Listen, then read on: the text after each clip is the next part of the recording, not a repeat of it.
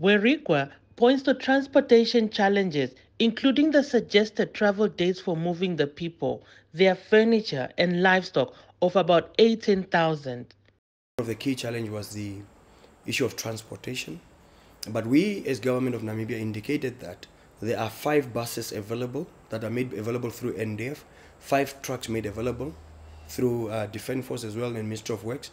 So as of when transport become an issue, they need to communicate same. But in terms of the nitty gritties as far as to where the Botswana government sits, I'm not aware.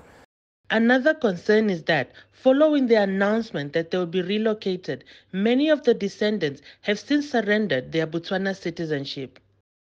Uh, the people that have already so far expressed their willingness to come have already denounced their citizenship.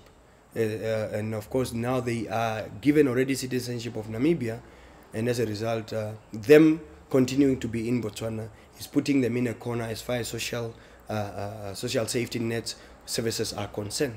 So it is our wish to actually have them this side as they have expressed, uh, uh, so that we will be able to carry on with their daily lives and yeah and integrate socio-economically. In July this year, Werikwa revealed 118 citizenships granted to individuals, including 51 dependents, with 32 that have not denounced their Botswana status.